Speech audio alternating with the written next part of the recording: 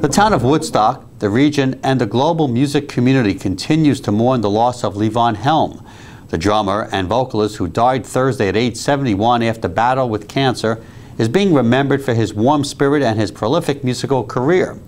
Garth Hudson, Helm's longtime friend and a member of the band, told the Times Herald Record Thursday night that Levon always came up strong. He spoke about meeting Levon and touring Canada and then the world with the band, saying that Levon was still playing well up until his final days.